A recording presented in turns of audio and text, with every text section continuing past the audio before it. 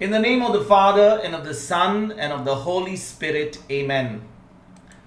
Loving Heavenly Father, we thank you and we praise you for giving us another wonderful and a beautiful day. Thank you, Father, for the privilege that you give us to gather together as one family. Though we are in different parts, different time zones, different assignments that we have, Probably some of us beginning the day, some of us almost ending the day, some of us in the middle of the day. Yet, Lord, you have given us that hunger, you have given us that thirst to come and hear your voice, to hear your holy word. Today, Lord, as you teach us the word, as you help us to understand the responsibility that we have as the body of Christ, the responsibility that we have as believers in order to ensure discipline in the body of Christ, to make a difference in our lifetime, to truly magnify and bless your name. We ask you, Spirit of God, at this moment to come into this class and teach us the word. As you are the best teacher, make this teaching for us simple, make it easy, make it practical for us. Help us to understand how we can put this discipline in our everyday life, especially in relationship to believers in relationship to our own family, in relationship in our community, in relationship with our overall parishes and our own larger church. Help us, Lord, to ensure that this love that you have put into our heart, this, this discipline that you have put into our hearts, we can, ens- we can bring it to pass. We can bring it into the lives of those whom we are meeting. So that, Lord, we together can be that instrument in order to save that soul, in order to bring that person into a relationship, into that intimacy with Jesus. Today, as you teach, as I as I share the word, Spirit of God, take complete control of all my faculties, my heart, my mind, my lips, my tongue, my vocal cords. Nothing of me, everything of you. And Lord, together as one family, as we hear your voice, help us, Lord, to put this word into practice and not only live victoriously, but bring so many souls to live victoriously in the kingdom of God. We thank you and we praise you, Father, in Jesus' name. Amen. So, my brothers and sisters, a warm welcome to each one of you. You know, for the last two days, we have been studying about church discipline. And you know, one of the things about church discipline, as I mentioned to you at the beginning of this class, is it is not a very popular topic. It's not something that you anyone wants to teach about because most of the time when it comes to church discipline, it is a very tough decision to make for the church. But a faith-filled church, a church who cares for its members, who cares for the eternal destiny of its members, will be serious on this matter and you know will will will sort of take the necessary appropriate steps or will move into action to ensure that discipline is done. You know my brothers and sisters the word discipline as, as the word suggests you know when we have we have been in school we have also been you know in at our workplaces we have been in different different organizations. And if you see in the secular world even for that matter if you are driving the car if you are driving the car at 80 miles an hour in a, in a, in a 60 uh, mile zone, surely the cameras are going to catch you. Surely the cameras are going to give you a ticket.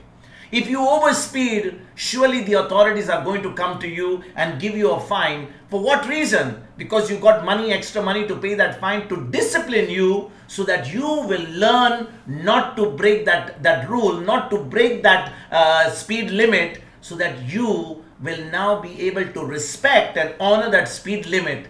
If this is also possible in a secular world, my brothers and sisters, church discipline is something that is so very important because it is not talking about, you know, paying a few dollars fine or a few rupees fine or a few pounds fine. This is talking about our eternal destiny. And you know, my brothers and sisters, when a church, when a, when a real true church of God is, is, is very serious about the eternal destiny of its members. Because at the end of the at the end of the day, after we have lived this life on earth, there is an eternity out there. And if we have never disciplined ourselves, if we have never learned how the we don't appreciate the cost that was paid to set us free we don't appreciate the discipline that god wants us in our in our relationship with him then brothers and sisters we will simply not be able to be there one day because we have ignored the corrections of the lord we have ignored what the lord has really been wanting to tell us and you know my brothers and sisters the lord is not going to come to the earth and speak to us like as i'm speaking to you in an audible voice he has given us His living word. He has planted His spirit into our hearts. And therefore, we have the written word of God. We have the spirit of God within us. We, as we study the word of God, that word is planted, abiding in us. And now the spirit and the word that is planted in us will help us to be disciplined and allow us to progress on our journey of faith so that we can one day be welcomed by the Father when Jesus comes again the second time. You know, my brothers and sisters, having spoken to you about our eternal destiny, spoken to you about the, the, the, the, the, the, you know, what we need to do on this earth, many people will ask today why the church is not taking steps of disciplining its members. I don't know, many of you would have this question in your mind. Why is the church not taking steps to discipline its members? So, you know, we, we go to church. There are so many people we meet there. We fellowship with people. We go to the same prayer service. The word of God that is uh, preached is, is preached to everybody but the response that you get is not from the whole congregation the same. Some people are serving in the church, some people are serving their community, and some people are just like Sunday Christians, or they are just like, you know, will do their job, they will do their worship, they will go home because they are doing just the bare minimum. But isn't it the same Father who's giving us the instruction? Isn't it the same Father who's speaking to us through His Word? So, brothers and sisters, why does the church, in most cases, allow serious damage to be done and then only act as a face saving or as you know as something as a last resort in order in the area of discipline. I don't know if you have heard this but in the church today you will find there is so much things that need to be put in order. There is so much of discipline that needs to be enforced. And many a times we begin to say why is discipline not being enforced? Why don't we see what we have learned in the last two days being actually carried out? And why only when things get very serious, it's out in the newspaper, pagans start talking, the, the, the, the ungodly start talking about all the, all the things that are happening inside the church, then only some decision is made. And why is discipline taken as the last resort? You know, my brothers and sisters, sometimes we use the word in the church called excommunication. We talk about somebody being stripped of their authority. And why are these terms even being used when we have a properly uh, laid down system in scriptures? You know, I don't know whether you have heard these terms excommunication or you have heard of things called stripped of the authority. Somebody has been stripped of the authority. You, we read all these terms and, and sometimes you begin to wonder why should we reach that state of excommunication or why should somebody be stripped of their authority when you have a very, very clear laid system by scriptures which is giving you a step by step procedure by which you should not reach that stage because if you are talking about excommunication you're talking about stripping somebody of authority, then scriptures don't use those terms. They simply say if that person has never even you know obeyed the church it, we have seen yesterday whenever there is a dispute it should be one to one secondly one to one doesn't work then you take the uh, presence of two to three witnesses. If that doesn't work then you tell the whole church. And even if the person doesn't listen to the church then that person is treated like a pagan, he's treated like an unbeliever. So there is no question of excommunication or there is no such thing as being stripped of the authority. That person is a pagan. He doesn't want to listen to the church, he doesn't want to accept authority. So the question is that person was never a believer in the first place. And you know, my brothers and sisters, coming to such a situation in our life, you know, when we talk about these things about excommunication, uh, stripping somebody of authority, you find these things happening as a last resort and the only reason we see that these things are happening is because we as the church love ourselves more than we love God. Just think about it, what I'm saying. If we are not in a position to discipline somebody in a step by step manner before it is too late, it only means we as the church are equally responsible because we love ourselves more than we love God. Now, this can be a very, very, you know, hurting statement. It can be something that can even poke and point our hearts, and we'll be saying, are you are we to be blamed for all these things that are happening? We are not involved. We are not in uh, authority. We are not in you know we are not the people who have to take the decision. But you know my brothers and sisters when we understand that this discipline is a must to protect the church listen when i say it is it is a must to protect the church i'm not talking about the church building i'm not talking about the color of the walls I'm not talking about the roof of the church or church building. I'm not talking whether the ACs are working or the fans are working or whether the lights are working or the sound system is working. I'm not talking about that. I'm talking about the members of that church. You know, my brothers and sisters, we must understand that we are dealing with the eternity of people here.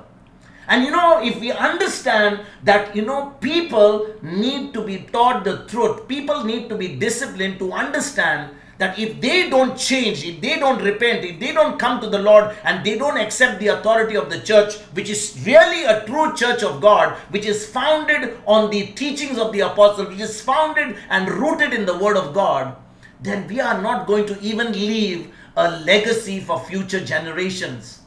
Please understand, my brothers and sisters, there are two things involved here as far as church discipline is concerned. One is the eternal destiny of the members that attend that church at that particular time or in that particular generation.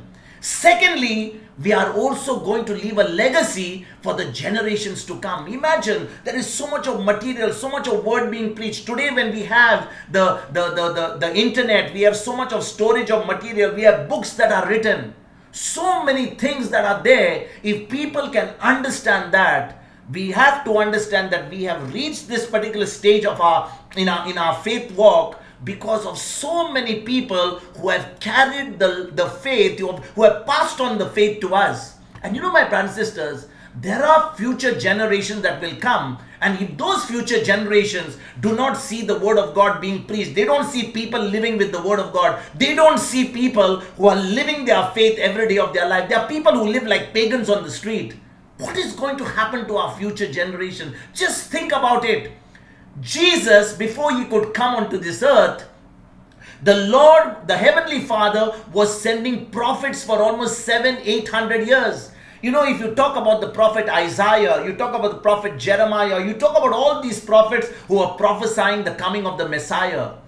There was a time in which the Lord was preparing all those generations right from the time of Abraham, David, all along, so that that seed could be protected and somebody would be available to say, Yes, I would let my womb be used in order for the Son of Man to come. And you know, brothers and sisters, if God took so many years before his son Jesus could come into this world, then in the same way, before Jesus comes again the second time, he wants this light of faith to be passed on to the generation because Jesus says, when the Son of Man comes, that's what Jesus himself said. When the Son of Man comes again, will he find any faith on earth? That's what that's what Jesus is saying. When the Son of Man returns the second time, will he find any faith on earth? And you know, my brothers and sisters, what we are witnessing today without the word of God. We are just witnessing religion, we are witnessing rituals, we are traditions, customs. We are actually going back to the law. We are just doing something, we are just doing our obligation, but we have failed to understood that we really need to have that intimacy. We really need to have that relationship with the Lord. We really need to get to the word of God. We need to build up our faith so that we not only are going to make an impact in our generation, but we are also going to make an impact in the generations to come. And you know, my brothers and sisters, what has happened today is rather, would, you know, what we would want to receive is praises. We want to receive approval from one another. We are not ready to, you know, speak out our faith. We are not ready to admonish people. We are not ready to discipline people. Why? Because we want the praises. We want the approval of one another instead of getting the approval of God. And you know, Jesus, when he walked on this earth, Jesus cautioned the people of his own generation.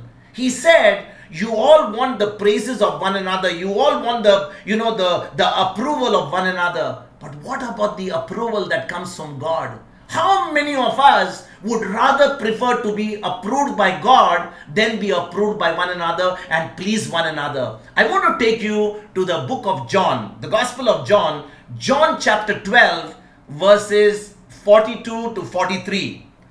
Nevertheless, many, even of the authorities, believed in him. But because of the Pharisees, they did not confess it, for fear that they would be put out of the synagogue.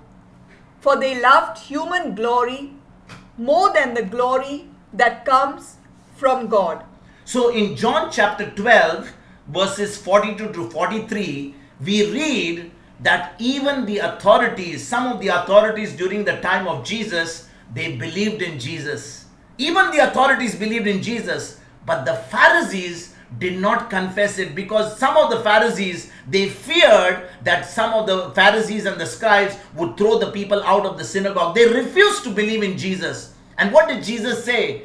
For they loved human glory more than the glory that comes from God. You know, my brothers and sisters, if we are really not ready to speak our faith because somebody will say, What are you talking? If somebody is going to say, What is that nonsense you're talking? If somebody says, This is what we have received, how are you talking about those things? You know, my brothers and sisters, the Word of God, the Spirit of God will always confirm the truth of God's Word and the Holy Spirit because the Holy Spirit and the Word are one. That's what Jesus said in John chapter 6, verse 63. He says, My word is spirit, my word is life. So the word and the Holy Spirit are one. And therefore, whenever we speak the word of God, whenever we speak the, the, the, the promises of God, we are actually speaking what the Holy Spirit is asking us to speak. And you know, my brothers and sisters, Jesus is saying, the, the verse of uh, chapter 12, verses 43 is saying,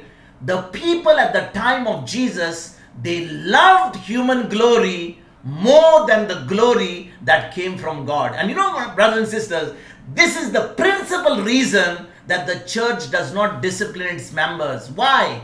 It is all a matter of who has the clout, who has the money, who has the position, who has the power. We are actually encouraging sin in the church because public opinion matters more than God's law. And that is why many people today are perishing. You know, brothers and sisters, please understand. It is your eternity that is at stake. Tomorrow, when we are standing before God, we cannot tell the Lord, Lord, it was that pastor who taught me the, you know, he taught me all nonsense. It was that priest who taught me all nonsense. It was that teacher who came in my life who taught me all the nonsense. Lord, it was my husband who came in my life who was a problem. It was my wife who came into my life was a problem. You know, my brothers and sisters, when we stand before the Lord, we will have to answer only for ourselves.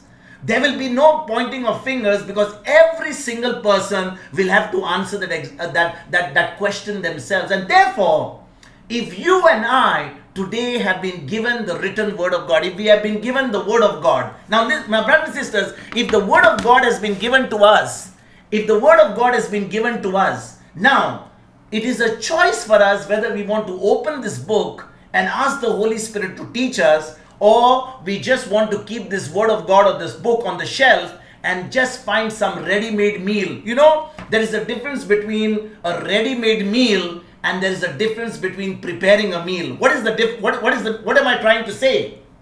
You know, if you go to a restaurant you don't need to go and buy the vegetables or buy the meat or buy the fish and go to the hassle of cooking, marinating it, putting it in the oven or cooking it and going to the process. It's already made. All that you do is you pay the money and you go and buy the food and you can eat it. But when a person comes home with all the raw material, they bring in the fish, they bring in the meat, they bring in the vegetables, they have to go and cut the onions, they have to light the fire, they have to go and marinate the food, they have to cook the food, and now they have to serve it. There is a process, there is a labor involved. In the same way, my brothers and sisters, there is a time when this word of God, I can listen it to somebody who's preaching it. I can go to a Sunday service Allow the priest to give me an understanding of the word. I can come to a Bible class like this. Somebody explains the word of God to me, and I feel that as long as I'm getting a ready made meal ready for me, I'm very happy that I've got my ready made meal ready. But you know, my brothers and sisters, God doesn't want you and me to just have a ready made meal. Yes, we need to have a ready made meal sometimes because we need to have a head start. But it is also important for us to cook our own food. Allow the Holy Spirit to teach us. Sit with the Word of God. Ask the Holy Spirit, help me, Holy Spirit. I want to take this passage. I want you to give me revelation. That brother whom I went to that Bible class, he taught us a particular scripture. But I believe, Lord, that you can speak to me also. I want what he said to become real to me. I want you to explain it to me. I want you to give me something more out of it. Now, as you begin to desire that, my brothers and sisters, as you begin to go into that word yourself, God, who is faithful to his children, will surely open up the way for you. But if you're a person who's going to eat 365 days in McDonald's and in Kentucky Fried Chicken, a time will come you may not have money in your purse because you know you're spending a lot on ready made food. You would rather prefer to eat some home cooked food. And you know, my brothers sisters, home cooked food is always better than eating restaurant food. You can eat restaurant food for one day, two days, 15 days, one month, but eating all the year round, I'm sure nobody wants to do that. You want to eat some homemade food. In the same way, you and I need to sit with this word of God ourselves because the Lord said, I will plant my word in their hearts I will be their God and they shall be my people. Brothers and sisters, let us not take the Holy, what the Holy Spirit spoke to somebody and, and, and, and adopt that, but let the Holy Spirit speak to our heart. Let the Holy Spirit make the truths a reality for me. And when He makes it a reality to me, now I understand it. Now I shall follow that word. Now my relationship with the Lord will be right. And you know, my brothers and sisters, the Lord is saying, for those people who don't want to take the time out in order to and invest time studying the word, what does the Lord say? There are people like that who only want to take ready made food. They'll go to one preacher, they'll go to another preacher, they'll go to another teacher. There will be about 10 teachers. They will go and listen to the word of God from so many places. Then what will happen? Because each one is giving their own interpretation, at the end of it, that person is going to be totally confused. Now look at what the Lord is saying in Luke chapter 17, verses 1 to 3. You know, my brothers and sisters, that's why it is so very important for us to study the Word of God ourselves. Because when we get it directly from the Father, when we get it directly from the Holy Spirit, if we are hearing something which is contrary to the Word of God, immediately the Spirit of God within us will tell us that's not the place to hear the word of God. That's the place I need to be cut off. And that's what we learned in the first class on discipline. If the preacher or the person or the pastor is going to preach something which is not the truth, eventually the Holy Spirit will, will, will convict the people who are really coming there and will say to him, Don't listen to this man, don't listen to that to that false prophet because that person is going to take you away. And as a result, when that particular congregation begins to get diminished and that person begins to have no people to hear him, you know what is going to happen? The Lord is going to discipline that false prophet or discipline that teacher in order to go to the truth, study the truth, and then share the truth because God is not going to allow anybody in order to share any any doctrine or false doctrine. I want to take you to luke chapter 17 verses 1 to 3 and see what jesus says about somebody who is preaching a false doctrine. Somebody who's taking people away from their eternity. Somebody who deserves a very severe punishment. Luke chapter 17 verses 1 to 3 jesus said to his disciples Occasions for stumbling are bound to come, but woe to anyone by whom they come. It would be better for you if a millstone were hung around your neck and you were thrown into the sea, than for you to cause one of these little ones to stumble. Be on your guard. If another disciple sins, you must rebuke the offender and if there is rep- repentance, you must forgive. So, what is Jesus saying here? He's saying if anyone is preaching a false doctrine, if anyone is taking people away from faith, the punishment that that person deserves is a millstone tied around his neck. Can you imagine, brothers and sisters? Somebody is in the sea, he's trying to survive in order for him to come up the water. If there's a millstone tied around your neck, do you think you can come up the, above the water? The person will always remain below the water. He will be totally drowned and he'll be dead. If this is what the punishment Jesus is saying for somebody who's preaching a false doctrine, somebody who just comes to the pulpit with, and just preaches anything out of his mind without preaching the truth, because that word that he's preaching is going to destroy so many souls. It's going to take somebody's faith. That's what Jesus says. If anyone who's going to do this sort of thing is going to make people to stumble, is going to allow that person to lose their faith. That's what Jesus is saying. He's saying the punishment that that person deserves is, is actually death in the sea. And he says, therefore, he says, be on your guard. Be on your guard. He says, if another disciple sins, you must rebuke the offender. And if there is repentance, you must forgive him. You know, my brothers and sisters, what is Jesus saying here? If you really have a relationship with the Lord, you really are studying the Word of God, you're really living according to what the faith says, and you observe somebody in your church, you observe somebody who's not doing that, your responsibility it is to go to that brother one to one don't gossip about that brother to somebody else. You know that fellow comes to the church. That fellow is doing like this. I heard about it. He's doing a lot of offenses at his workplace. Any information that you have received, in, before we open our mouths and tell anybody, if you really love that brother and you love him, his soul not to be lost, my brothers and sisters, it is important for us to go to that person. We are so concerned about ourselves. We love ourselves so much that we do not want to be rejected by somebody. And that is why the Lord is saying, such a person, a millstone needs to be tied around their neck because they are more, they love themselves more than they love God. Imagine, brothers and sisters, if there is somebody with whom you are fellowshipping, they are your good friends but you know that they are not living according to the truth. They are not living according to the word of God. Even though they are your friends and you are a believer, can you imagine if you don't tell them the truth? Where are they going to go when they pass out from this life? They have been your friends. God put you into that relationship with that person only for one reason so that you would nicely use that relationship in order to tell the person the truth. You would tell that person that what they are doing is not right, but one to one but what we do is we do not want to offend our friend. We don't want to lose that relationship. We don't want to offend them. So they will say, You please don't come to my place. We are so concerned about that relationship being lost that we fail to tell them the truth. And you know, my brothers and sisters, what did the, the word of God says in the book of Leviticus? It says, if you hate your brother and sister, only then you will never tell them the truth. But if you really love somebody, you love them to the point that you want their soul to be saved, you will open your mouth even at the cost of your relationship with them, but you will plant that seed of God's word, which may not sprout at that moment, but because you did what the Lord told you to do, that person's soul will be saved.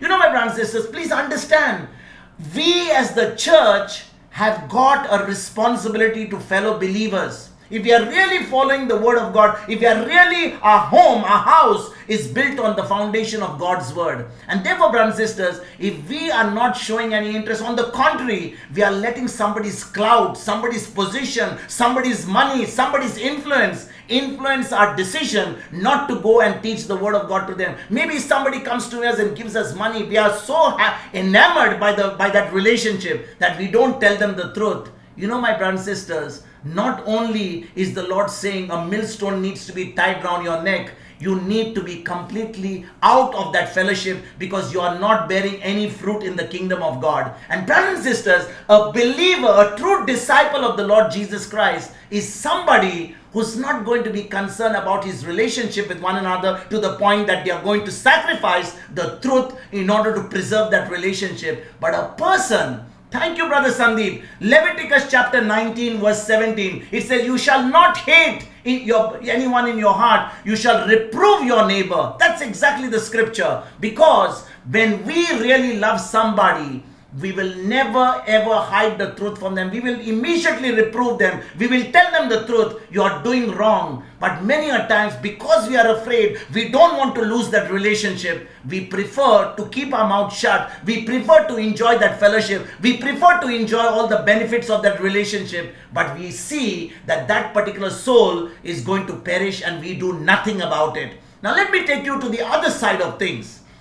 You know, my brothers and sisters, there were Pharisees at that time of Jesus. And these Pharisees, they thought that they were good God pleasers. But they were actually a big hypocrites. Because when they came to God, they wanted to show God how good they were. That everybody else was a sinner, that they were doing everything according to the law, but they were not doing anything in order to express the love that they had with God, with their brothers and sisters, especially when it came to sinners. I want to take you to Luke chapter 18, verses 10 to 12. Luke chapter 18, verses 10 to 12, it's talking about two people going to the temple. One was a Pharisee and one was a publican. Let us see what happens when the Pharisee went to the temple of God. Two men went up to the temple to pray, one a Pharisee and the other a tax collector. The Pharisee, standing by himself, was praying thus God, I thank you that I am not like other people, thieves, rogues, adulterers, or even like this tax collector. I fast twice a week. I give a tenth of all my income. Now, this was the prayer of a Pharisee to the Lord. Can you imagine, my brothers and sisters? A Pharisee came to the Lord and he thought that he was doing a favor to the Lord by telling him, Look at me, God, what a wonderful person I am. I am not a thief. I'm not a rogue. I'm not even like that tax collector right behind me. I give my tithes. I fast twice a week. I'm always praying. What do I need to hear the word of God? Why do I need to make a big fast? Look at me, Lord. What a great person I am. And what did the tax collector do? Verse number 13 onwards. The tax collector, the publican, he just put his head down and he said, God, I'm a sinner. Have mercy on me. And you know, my brothers and sisters, the word of God tells us at the end of this of this chapter that the man who actually put his head down and said to the Lord, Lord, have mercy on me, a sinner, he went right with God not the public not the pharisee. The pharisee was doing everything perfectly. He was praying he was doing his obligation he was praying every day he was reading his bible he was in front of the blessed sacrament he was praying his rosary he was being he was even giving alms to the old old uh, old uh, old age home. He was doing everything perfectly right. But the lord says the man who humbled himself, lowered his face, and said, God, have mercy on me, a sinner, is the person who was who went right with God. And you know, my brothers and sisters, today, how many of us could put ourselves in the place of the Pharisee, and how many of us could put ourselves in the place of the of the tax collector? It doesn't mean that we are all perfect people. Even though we are disciples, even though we are believers, we also at times got a little bit of Pharisee in us. We have got the tax collector in us, but we are work in progress. We know we need to eliminate completely destroy the pharisaical attitude with us because when we think we are righteous we will never go out and try to discipline others. We will never go out and be a witness to others. We will never go out and tell somebody, listen, my brother, I love you so much. I observed this particular thing. I heard this particular thing. I want to help you. I want to share my testimony. I want to show you I was doing the same thing and I also have been set free. I want to show you the secrets from through the word of God. I want to help you, my brother, because your eternity is important for the Lord. Your eternity is important important also for you. How many of us would take a pharisaical attitude where we say, Lord, I'm so perfect, I'm doing the right thing. Let everybody go to hell. That tax collector, that neighbor of mine, everybody else, let them go to hell because they are rogues, they are thieves, they are adulterers. There are all these people around. Only I'm the right person. And you know, my brothers and sisters, the moment we begin to think that way, where we don't get out of our comfort zone and reach out to others, we are actually being Pharisees. And you know very well, brothers and sisters, Jesus could not save the Pharisees. Jesus couldn't save the Pharisees. They did everything right. They paid their taxes, they paid their tithes, they fasted, they prayed, they gave alms, they did everything right. But yet Jesus could not save them. Why? Because they thought they were so self-righteous. They thought that they were perfect people that they God owed it to them. God had an obligation to them to bless them. And you know, my brothers and sisters, if we begin to have the same attitude, we will never have discipline in the church because even though we see things wrong in the church, even though we see, see things wrong among our brothers and sisters, we will prefer to love ourselves to such an extent that we'll say, as long as I've done my obligation, as long as I read my Bible, as long as I did my rosary, as long as I heard the Mass, all that matters is God is pleased with me. Other people, if they are not doing it, is their problem. No, my brothers and sisters, as the church, it is the responsibility of the church and its members to discipline one another, to be a witness to one another, to be an example to one another. And no, my brothers and sisters, please listen to this very carefully. A church that is not growing in love among its members, but only doing religion, doing rituals week after week, day after day, month after month, for years, withdrawing their fellowship from, from those people who are doing wrong is going to be meaningless. We saw that yesterday. What is the use of taking somebody out from your church and just telling them leave the church if we have never ever shown them love, if we are really not operating in love? The person who has been told to leave will miss nothing because there was nothing of that ever in that church. There was nothing of that in the church. The love of God was never flowing in the church. The truth was never being preached in that church. So what is the use if you tell somebody to leave that church? Because the truth, he will, he will never miss anything. Only when the truth is being preached there, people are operating in love. People are sharing the love of Christ to one another. People are ready to be concerned for one another. People are interested for the of the eternal destiny of one another. People are encouraging one another to share in their faith journey. That's the time when you take out somebody from that fellowship and keep him out as a discipline because he's he's being poisoned into that fellowship.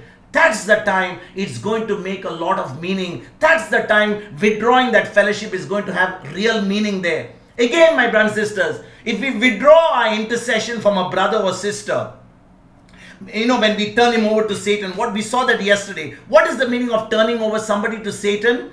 It simply means because that person is a believer, he has accepted Christ, now we are letting that person go from our fellowship so that now that person you're not going to pray for them you're not going to you're going to withdraw intercessions from them so that that particular brother or sister will face the consequences of the sin that they are doing. Satan will come and kill steal and destroy. Now when that person begins to experience that from the enemy that person is going to repent, come back to the church. He say, I have changed. I want to repent. I want to come back to this fellowship. And that's the time this brother is going to repent or this sister is going to repent and they will be reunited to the church. And that is why church discipline becomes so very important. So what are the obstacles, my brothers and sisters, to church discipline? And what are the serious effects because biblical discipline is not enforced today? Let me ask you a question. If we have seen as we began this class today that church discipline is something that is taboo, it's something that is not talked about, it is not even being enforced, and now that it is not being enforced, a lot of obstacles are there in the church because of church discipline not being done.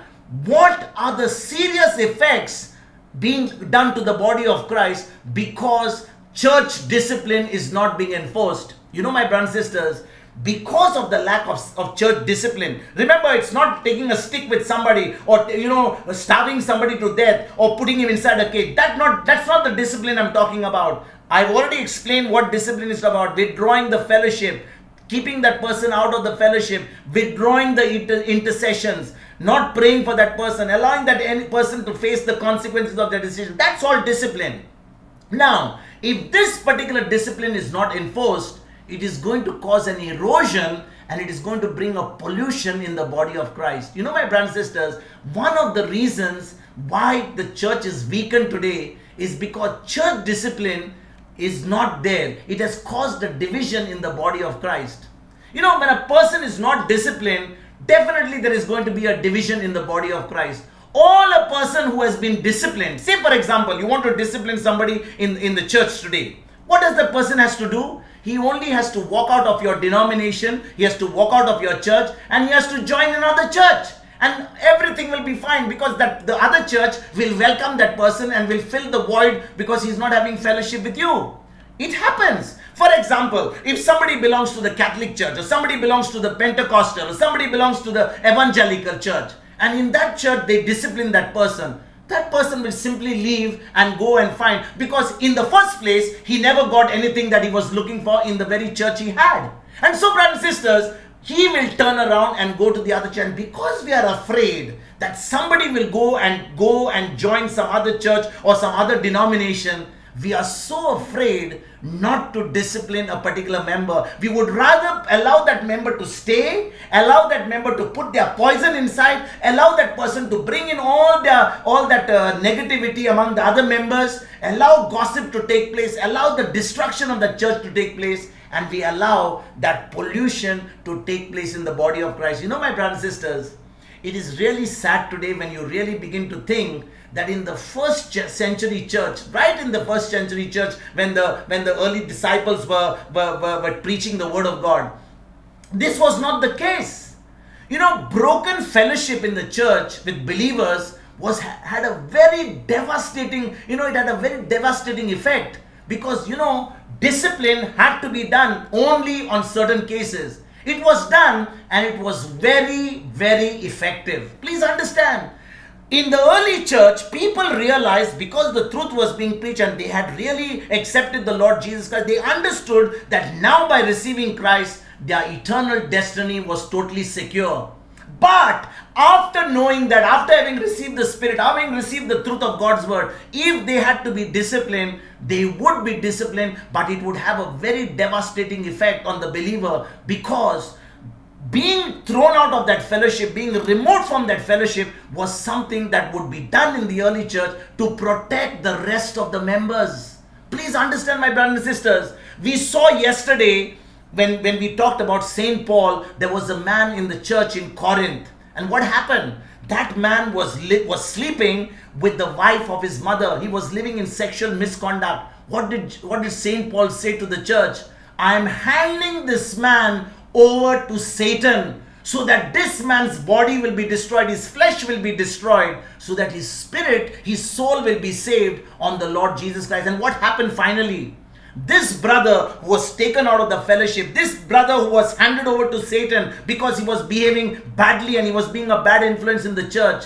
This brother eventually repented. He was restored to the church and he was restored to the fellowship of believers. You know, my brothers and sisters, if such discipline is imposed if, if you know we don't need to wait for the 11th hour to, to make drastic decision until it goes into the press it goes into the internet people are all talking about it unbelievers are talking about it. It is something that has to be monitored. Each member needs to be monitored. We need to operate in love and unity in the body of christ today brothers and sisters to effectively ensure that church discipline is going to keep the church together it's going to bring the church to make it grow and make people into a relationship with god. You know my brothers and sisters limited although the results are very limited you know discipline is something that nobody is going to be happy about. As i said to you the moment we talk about discipline people will say you want to discipline me because the human nature by by itself is always rebellious. You you know if we operate in love with one another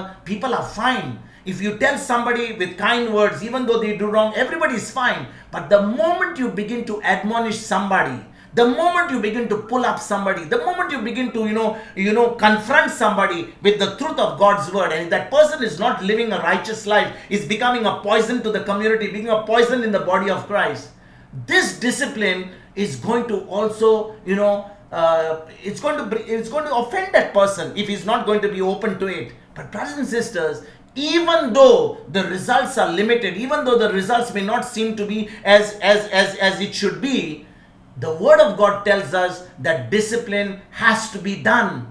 The more a church has this, has this unity among its members and an effective intercessory prayer life, the more effective the discipline will be. Please understand, my brothers and sisters. In order for a church to grow, in order for a church to really experience the presence of the Spirit, the presence of the Word of God, the presence of Christ in that church, it is important that that members of the church of the of that particular church should walk in unity, should walk in love, and most important, they should have a very strong and effective intercessory life. You know, my brothers, we saw yesterday in Matthew chapter 18 you know, in Matthew chapter 18, right from 15 to 20, we saw the spiritual significance of this discipline. I want to take you not to the whole chapter, uh, not to the whole verse from 18, uh, from 15 to 20, but I want to take you from verses 17, 18, and 19. Verse number 19, let us read first. Let us go backward. Matthew chapter 18, verse number 19.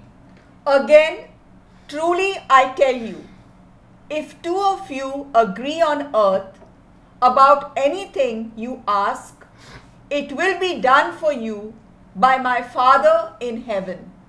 If again truly I say to you, I tell you that Jesus is saying, if two of you agree on earth about anything you ask, I will it will be done for you by my Father in heaven. You know, my brothers, this verse, verse number 18, that is Matthew 18, verse 19, has many applications. But if you take it in context with what we are talking in our topic for the last two days, this particular verse is talking about church discipline, and we have seen that from verses 15 to 17. You know, my brothers, some think or some people think that church discipline is only symbolic and carries no real meaning. It doesn't really carry any punch in it. However, Jesus himself was making it crystal clear that in the spiritual realm, discipline that is directed by the Holy Spirit has real power. Let me say this again. You know, when we talk about discipline in the church, people think it is, you know, probably it is, you know, you're just admonishing somebody, you're just trying to calm somebody, you're just trying to get somebody on, on the right track. But that is not the case. If you read between verses 15 and 17, you will see that Jesus himself made it clear that in the spiritual realm, not in the physical realm, not what you see, in the spiritual realm, discipline that is directed by the Holy Spirit has real power. It has really a lot of significance. You know, let us see what the church discipline mentioned in Matthew chapter 18, verse 17 to 18 says. Let us read that. Let us go back to Matthew chapter 18, verses 17 and 18. If the member refuses to listen to them, tell it to the church. And if the offender refuses to listen even to the church, let such a one be to you as a Gentile and a tax collector. Truly I tell you, whatever you bind on earth will be bound in heaven, and whatever you loose on earth will be loosed in heaven. So, brothers and sisters, when you look at verses 17 and 18 that we just read, it says the process is very clear. The first process is you find somebody in the church who needs to be disciplined. It always has to be one to one. Never go and report about somebody who's doing wrong to the whole church directly. That's what we do today. We need to take the one to one approach first. If by, by doing the one to one it doesn't work, then you take the presence of another two or three witnesses. Because when you take two people who are offended, another two, three witnesses, those two, three witnesses can also be as witnesses to see between the two parties without any bias. I mean, they, they don't have any, their own, um, you know, their own uh, benefits involved. They are going to be neutral parties, so they need to be witnesses. Now, after taking two or three witnesses, that person doesn't refuse. He now you need to tell the whole church about it. So telling the church is step number three. But what happens today? We go to step number three, spoiling everybody's name. You know what that brother is doing. You know what that family is doing. Everybody in the church. Now, do you think that person ever, ever wants to change? That person will be humiliated. That person, in fact, instead of coming out in the open, is now going to be on the defensive. He's going to make a lot of enemies. Everybody is going to talk evil about that person. And therefore, brothers and sisters, verse number 17 and 18 says, If the member refuses to listen to them, now you go and tell the whole church. And if the offender refuses to even listen to the whole church, then only you will treat that brother or that sister as a Gentile or a tax collector. What is the meaning? You will treat them as a pagan. That's the last resort. that's the place where you will you will actually withdraw the fellowship so this discipline my brothers and sisters is a twofold discipline the first is withdrawing the fellowship with that particular person. So that's the first step. The second step is withdrawing our intercession on behalf of that person. So the first step is that particular brother or that particular sister who has gone through that process of one to one with witnesses, then by telling the church and he has not listened to the church, that person now has to be taken out of your fellowship. The second thing is you withdraw the intercession. Most of the time, people are what are they doing? They are praying for that brother to change. Now that he has gone through that process, you withdraw your your intercession from that person. Don't pray for that brother, don't pray for that sister. So, this second part of the discipline actually goes to such an extent that the church members are deliberately told not to pray or not to intercede. That is the thing called binding the demonic forces which people are doing. You know, when people pray for one another, they are actually acting of, uh, in a sense, binding those demonic forces that are going to attack that person. You know, my brothers and sisters, this particular part, which is called as withdrawing of the intercession, actually includes us losing them from our intercession and delivering them to Satan for the destruction of their flesh. This is the binding and losing being referred to in verse number 18 that we just read. You know, my brothers and sisters, let us see what Jesus himself says in John chapter 20, verse 23. Because I want to show you when, when Jesus was, as soon as Jesus rose from the dead, remember, when Jesus rose from the dead on, on Easter Sunday, he appeared to his 11 disciples, uh, to his 10 disciples in a closed room on that particular day, only 10 disciples were there because Judas had died by them and Thomas was not with them. So there were only 10 of them. Now, as soon as Jesus enters into that room which was closed, Jesus speaks some words to them. I want to show you how what we are learning about losing and binding of people, especially when it comes to withdrawing the intercession, Jesus already spoke about it on the day of his resurrection. John chapter 20, verse 23. If you forgive the sins of any, they are forgiven them. If you retain the sins of any, they are retained. If you forgive the sins of any, they are forgiven them.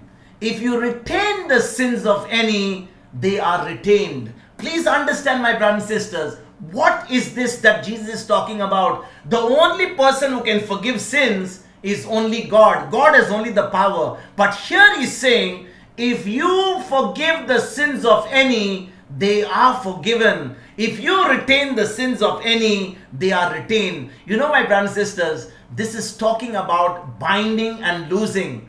You and I, as believers of the Lord Jesus Christ, we have the authority to bind demonic powers forces operating against our brothers and sisters. This is the thing what Jesus was talking about remitting or forgiving their sins. And we also have the authority to lose these power, same powers in their lives, and that is to retain the, the, the, the, the wrongdoing that they are doing. So, this is for the sole purpose of causing that brother or that sister to repent and to be restored. You know, my brothers and sisters, if those who are in rebellion, listen to this very carefully those who are in rebellion, especially in the church, who, who are right now, who are not, you know, when they, they, they refuse to hear one to one, they refuse to hear with the witnesses of two or three people, they refuse to hear to the church, they refuse to hear the, the leadership in the church or to refuse to listen to the members. Those who are in rebellion will not, if they don't respond to these steps that have been taken, Jesus has laid down those rules in Matthew chapter 18, verses 15 to 17. And we, the church, should discipline them by not fellowshipping with them by any longer. But on the contrary we should stop we should stop interceding for them. There's no longer binding taking place. So the consequences of their sins they would normally come to the law of sowing and reaping. So as they sow the sin they will reap the consequences of all that they are sowing. But as long as brothers and sisters are praying for them the devil will not attack them. They will continue to do all those wrong things. And you know, my brothers and sisters, that person will never ever repent and come back to the Lord. So we are actually to retain their sins unto them, as we saw in John chapter 20, verse 23, which is the same thing as delivering them over to Satan. That's what St. Paul wrote. Yesterday we saw that in 1 Corinthians chapter 5 verse 5. You know my brothers, please listen to this very carefully. This particular losing and, and, and, and you know uh, binding simply means that we lose Satan to have access to these brothers and sisters who are in rebellion as their sins deserve them with the hope that they will realize how deadly their sins are and they will repent before Satan destroys them. That is the reason why we have to not, we have to sometimes withdraw intercession. Many a times I hear some parents come to me. You know, some parents come for counseling. They say, My son is not listening to me. My daughter is not listening to me. We have been praying for so long, but there is no this thing because you are praying, they are not even facing the consequences of all the mess that they are doing in their life. Your prayers is, is actually stopping Satan from, from causing problems in their life, and as a result, they are continuing to do all the wrong. They continue doing all the wrong. Your prayers are protecting them from Satan. But you know, my brothers and sisters, listen to this very carefully. Proper intercession can actually keep Satan at bay, though people are living in great sin. How many times Parents are praying for their children. The children are in absolute rebellion. They are doing their own things. Now, parents will say, I am praying to the Lord that the child of mine will come back. Yes, you continue to pray, but there is a time because your prayers are only protecting them from the devil's attacks. Your prayers are actually acting as a hindrance for the devil to attack them. There is a time because you love your child, you want to save your child's soul. You need to withdraw that inter- intercession. You need your child to face the consequences because you love your child to the point your child's soul has to be saved. And this is the same formula that Jesus is talking about in the body of Christ. You know, my brothers and sisters, this is a good, this particular thing is good if they use this freedom to repent and come back to the Lord. But if they take this freedom to commit more sin, then comes a time when this form of intercession ceases to be beneficial to that brother, to that sister, or even to your child. In that case, intercession against Satan attacks should be withdrawn and we should actually retain those people's sins unto them so that they can no longer get going by experiencing the, the freedom. They are not going to experience that protection. They are going to face the consequences of their sins. That's what exactly what the book of Romans says. The wages of sin is death. Romans chapter 6 verse 23. So if anybody is committing sin, you are only giving an access to the devil. But because people are praying for you, the devil cannot attack you because your prayers are acting like a barrier and yet that person is committing sin. So brothers and sisters, when the when the intercession is withdrawn, as they start reaping what they have sown, it will hopefully cause them to turn back to the goodness of the Lord and now they can come back and join into the fellowship. You know, my brothers and sisters, this is a very severe thing to do. Very severe thing. I don't think if I tell any parent to withdraw and don't pray for your children, you will say, Brother, what are you talking about? I love my child. I want them to be protected from the devil. But if you are only interested to let them live in sin and be such a poor witness of the Christ to the world, you have to show tough love. T O U G H, tough L O V love. Because this is a very severe thing to do. It has to be done and it should be not taken lightly, my brothers and sisters. That's why that's why Jesus instructed us to employ these three steps, which I talked about in Matthew chapter 18, verses 15 to 17. This should be done as a church body, thus preventing one person from trying to use binding and losing as a form of vengeance also. You know, there are so many times people in the church, they use this particular thing in order to get even at somebody else. That happens so many times in the church. Now, listen to this very carefully. This is another aspect that many people have never thought about. You know, you know, Matthew chapter 18, verse 19, it states that when two believers who are employing this principle of binding and losing, they can do it. For example, if two agree about anything they, they pray for on earth, it shall be done by the Father in heaven. So, brothers and sisters, according to Matthew chapter 18, verse 20, two believers gathered in Jesus' name constitute a, a, a gathering of the church. Remember, two or three gathered in my name, there I am in their midst. So when two or three gather, it's already the church. And a special anointing of the Lord is present when believers get together. Now listen to this. There are also other ways of applying the scripture. Imagine one of the tragic applications of the scripture is when two or three believers are gathered together and they fall into gossip and criticism of a particular member of the church. Listen to this, a very dangerous situation. When two or three believers gather together, it's already the church because Christ is present. There is an anointing of the Lord which is present there. Now, instead of those two people using that in order to bind the powers of satan or you know to bring that person to the lord they fall into the uh, into the sin of gossip and criticism. The same spiritual law will now start working in the opposite manner. And it will work in the reverse order in which which god intended. You know what will happen my brothers we can actually bind up the positive results of sowing and reaping in godly people's life and lose the attack of Satan against them by the words that we speak. It's so very important.